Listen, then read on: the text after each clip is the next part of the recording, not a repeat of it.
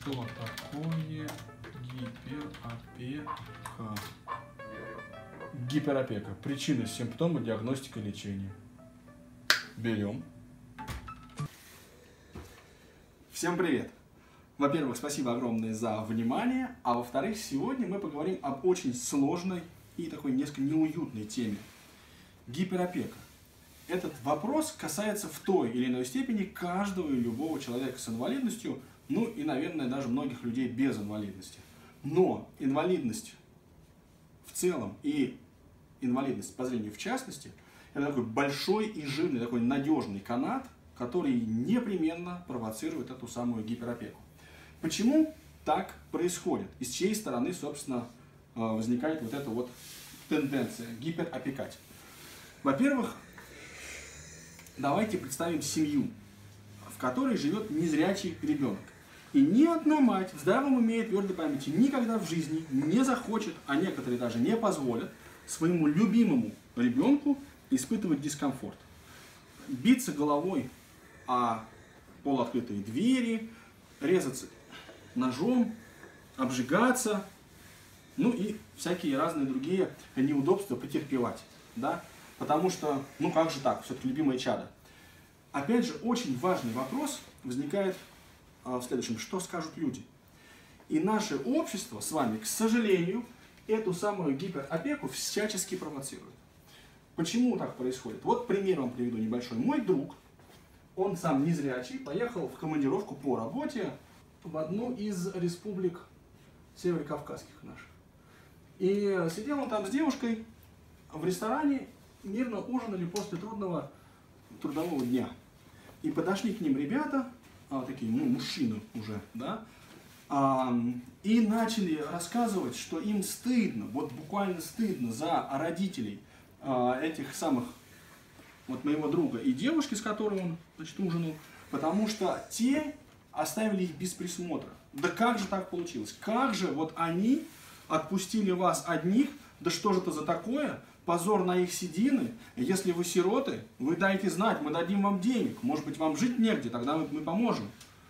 И, в общем, больших усилий моему другу стоило, во-первых, сдержаться, а во-вторых, как-то объяснить, ну, поблагодарить людей за заботу и как-то так немножко от них отделаться, что называется.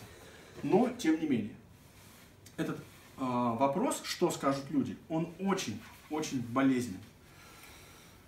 Теперь, что касается стороны самого человека с инвалидностью. Для него это тоже огромный соблазн. Да, почему? Потому что мы все, что бы мы там о себе не думали, очень любим покой и комфорт. Мы не любим слышать каких-то неприятных слов в наш адрес. Мы не умеем, ну так вот, по-хорошему, а, эффективно преодолевать какой-то вот наш дискомфорт. Нам очень нравится находиться в зоне комфорта. Есть то, что нам приготовили и подали на блюдечке с голубой каемочкой. Для того, чтобы делать что-то другое, чтобы самому готовить, чтобы как-то самому начинать определять, надо очень-очень сильно напрягаться. Да? И, в общем, конечно, человек простой, человек обыкновенный к этому не особенно склонен.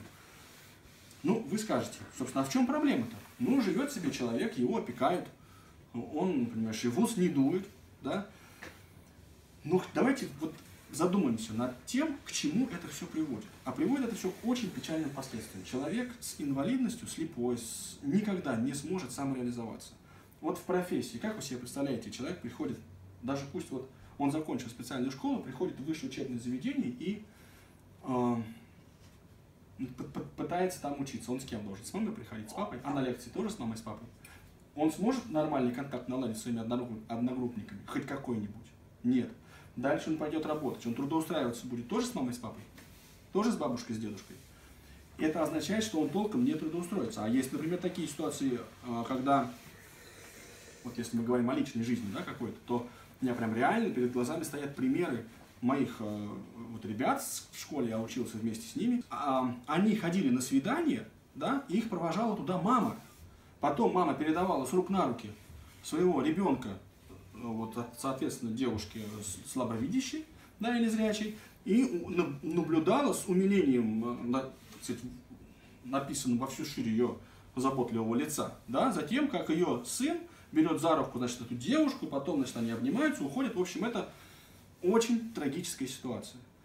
А вот если мы вернемся к родителям, да, которые ведут себя несколько иначе, не гиперопекают, а наоборот толкают и стимулируют своих детей на какие-то вот э, труды на подвиги, что называется.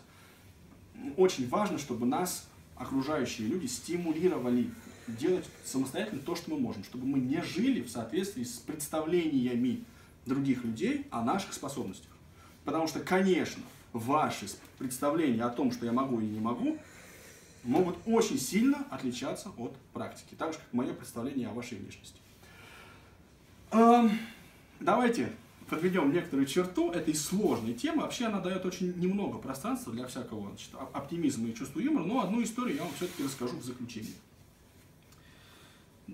Приятель у меня есть, и был, я надеюсь, и останется. Бежит он на работу, а ехать ему надо было, как многим из нас, используя московский метрополитен.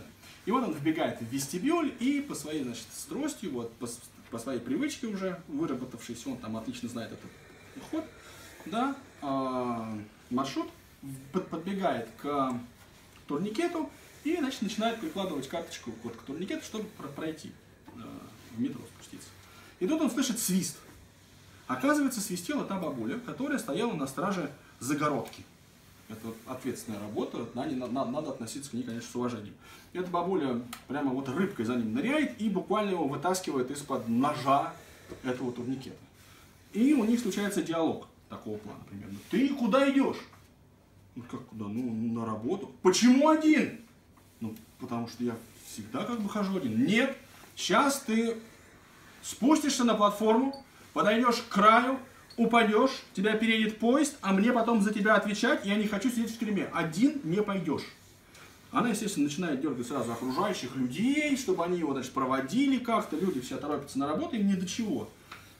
А, долго они припирались, и когда уже у парня, моего приятеля, начало как бы, лопаться терпение, и уже было понятно, что бабуля при всем желании не удержит здорового 30-летнего кабана, вот, она сказала, ладно, стой здесь, сейчас я позову полицию, они тебя опустят и посадят. Давайте вместе лечиться от гиперопеки. Чао.